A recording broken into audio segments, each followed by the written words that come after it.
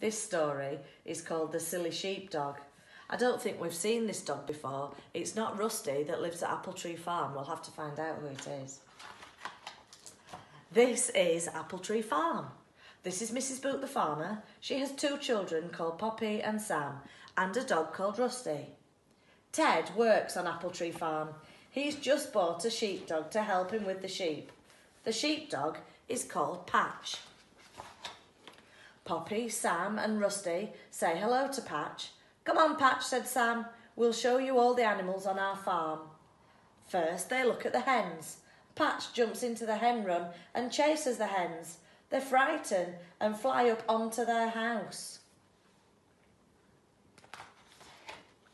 Now we'll go and see the cows. Patch runs into the field and barks at the cows, but they just stand and stare at him. Then they look at the pigs. Patch jumps into the pig pen and chases all the pigs into their little house. Sam shouts at Patch, Come here, you silly thing. You're meant to be a sheepdog. Ted will have to send you back.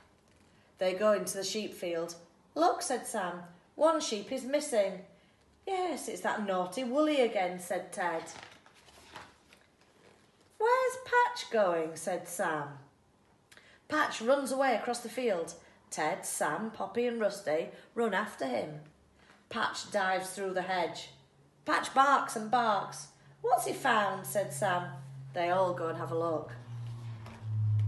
Patch has found a boy. The boy pats Patch. Hello, he says. I wondered who bought you when my dad sold his farm. The boy has found a sheep. There's Woolly, said Sam. I found her on the road, said the boy. I was bringing her back. The boy whistles to Patch.